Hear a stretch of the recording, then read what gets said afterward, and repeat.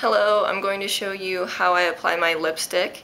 I've recently gotten a lot of compliments and questions on how I apply my lipstick, so I wanted to share with all of you what I do in case you wanted to try it and it works for you.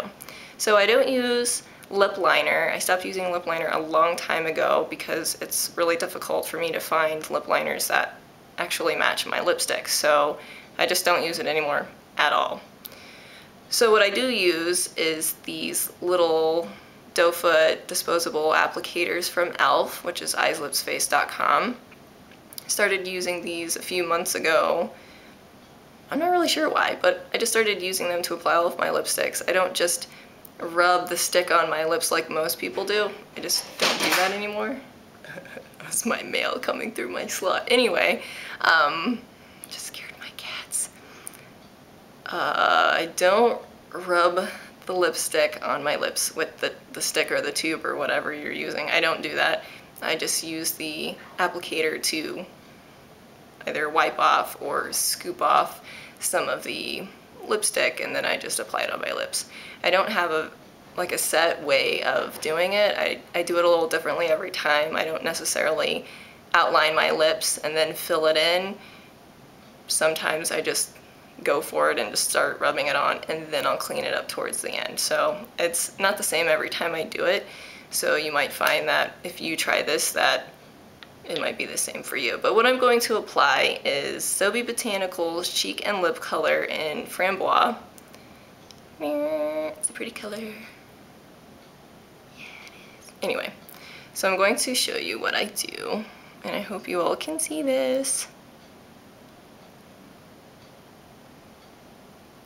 Just pick up a little bit.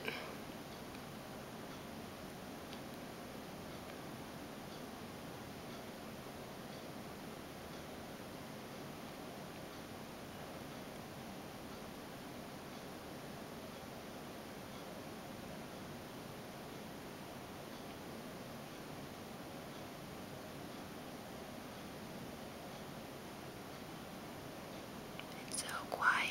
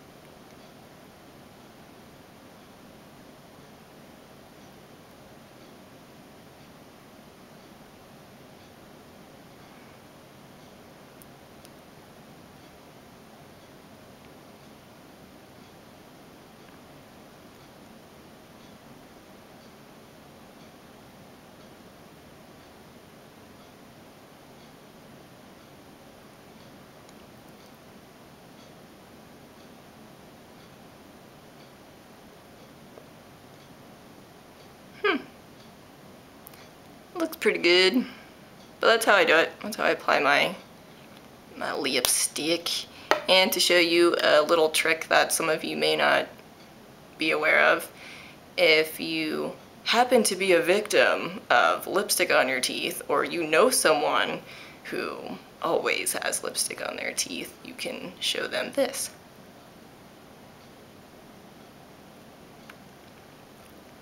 And then you can smile and not have any lipstick on your teeth at all because it's now on your finger.